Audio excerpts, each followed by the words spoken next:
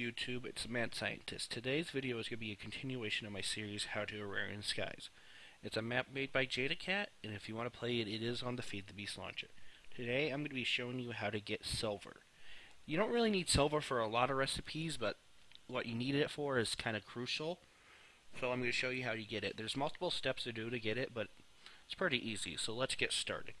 All you need is an oak sieve. It doesn't really have to be oak, this can be any type of wood and gravel. If you do not know how to make gravel, I did make a video and it will be in the description of this video.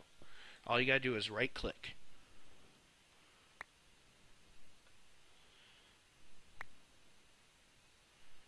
And you just gotta keep right clicking and we got some silver. You can't you cannot put silver like this in the like a smeltery or a furnace because you need it's broken silver you need four pieces to get a piece of silver and that's basically how you get silver. Please rate, comment, and subscribe. If you have any questions, PM me or put them in the comment section. See you guys in my next video. Bye.